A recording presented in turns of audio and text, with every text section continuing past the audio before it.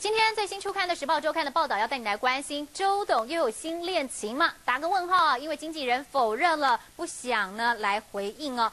据了解呢，周杰伦、周董自贬。自编、自导、自演的最新电影呢，要在六月上映了。而女主角选中的是中俄混血的美女。而据了解呢，周董对她的相当的悉心呵护啊，也担心正牌的女友昆凌吃醋了，所以两个人有保持距离。可是，在片场呢，两个人用手机有相处亲密的行为，因此大家质疑，该不会这位混血的嫩模是他的新欢了吧？不过经纪人已经否认了。